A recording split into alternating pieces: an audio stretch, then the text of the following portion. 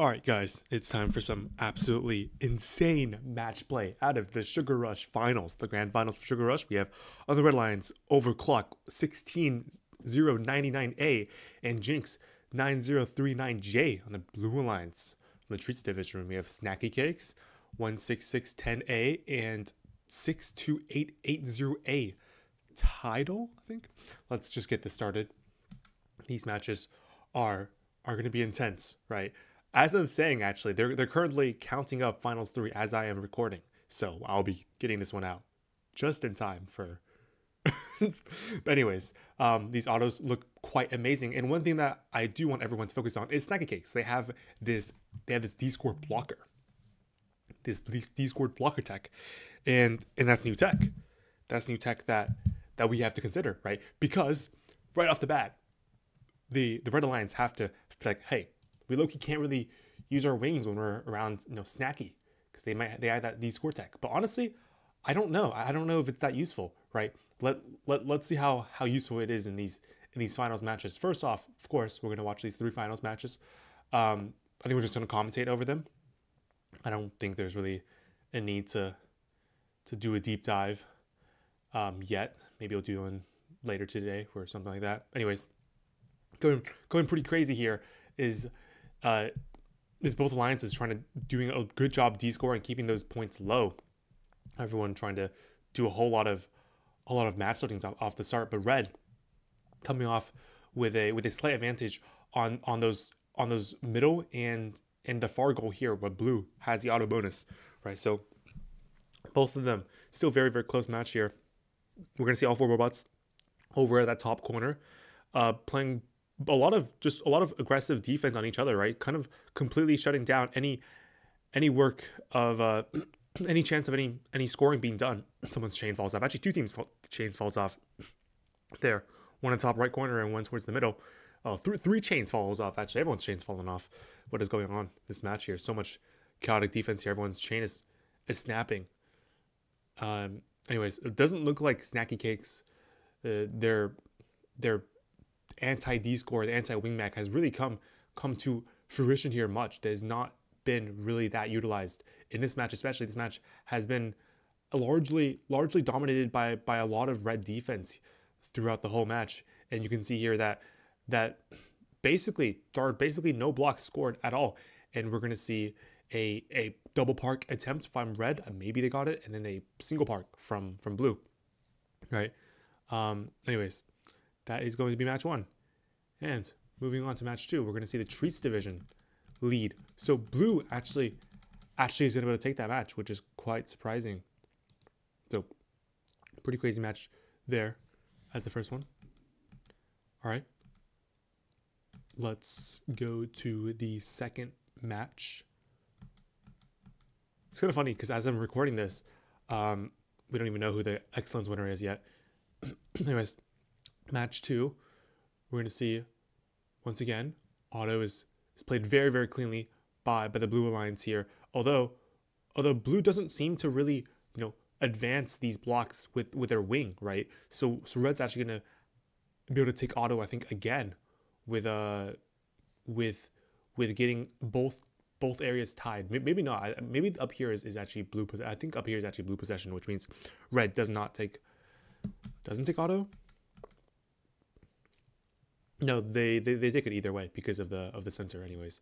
Okay, so so Red's gonna take auto here in this match, right? So right away, there they got that the auto bonus, right?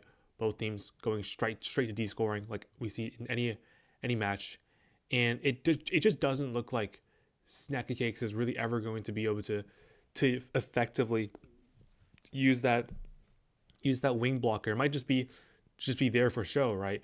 Kind of like kind of like a blocker in uh in over under where, where where people know you have it. So so they're kind of like more more cautious when they're going for that for that D score or you know in, in over unders case going for those match loads.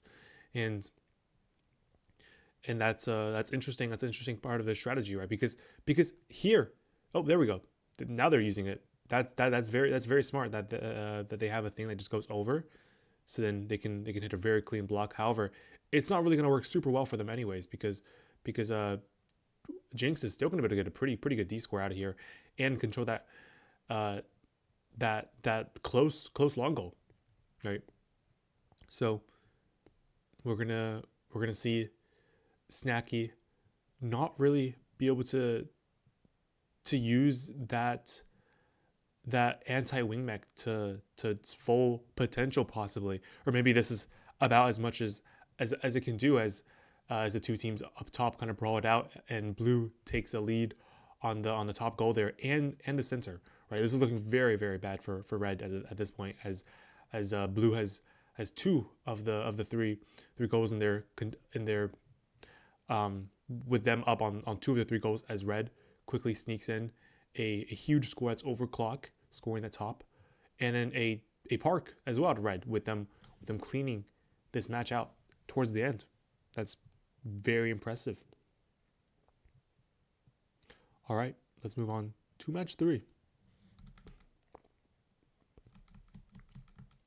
Yeah I think the scores just came out for match three, which is really funny. Um, it is going to be Snacky, uh, or the Blue Alliance winning winning match one, and then and then we're going to see Red Alliance winning match two and three. Right, so they made a pretty huge comeback here. Overclock and Jinx Alliance. I think a a pretty ooh that auto kind of messes up there. A pretty big thing with uh with the blue with especially the the snacky auto is that they don't really advance their their blocks right, which is kind of a kind of a problem when when when you play against teams who use the wing to their advantage here, where they're able to advance those blocks into the control zone, and and either make you tie that bonus or tie the control bonus, or or they can just take it away, right? Which is what they did here. Red Alliance taking that bonus here, auto bonus, and and it's going to be a a pretty pretty clean start for White once again. They're going to be able to hit a pretty big D score on both the blue blue teams here, and and this is going to put blue in a pretty pretty rough spot. They got to hit these match loads while being under heavy heavy defense. So let's see how they play this here. Snacky Cake is going up to the top there, doing a pretty pretty quick four four blocks going into that the alleyway, hitting all four in, and this is huge where they are able to kind of push these blocks back into the control zone. Yeah, it's kind of a that's a a maneuver that I think all drivers really should be learning how to do this this season as, as Blue hits another huge D score on the bottom.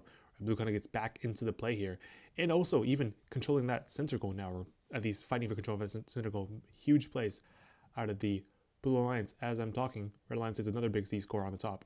So we still could go to anyone here with all four bots to the top now. Maybe one of them should come down. Well, as I say that, both Blue Alliances comes down to try to try to make some make something happen down here on the bottom goal. And will they? Doesn't look like they will. Looks like Snacky Cake is more content to just fill up the the the middle control bonus or get that middle goal under under blue, and and this this is this is fine for for blue right because because although they're down in that bonus as long as they, if they can get two two of those goals under under their control and they can hit a, hit a pretty good park then they can still win this right but oh and a huge D score out of uh, out of blue again on the bottom, which is massive because now that puts that puts red way down, right? And and if they can hold this pen, honestly, they should just they, they need to just hold this pen, right? Um, or anyways, I, I don't know. They should they should have either held that pin or had it had snacking over the park because because this is what what lost them the game right here is not going for that park because as a as Red got, got that park, they won the game. Anyways, these are three very highly high level finals, and I will I will be making a analysis video on this too.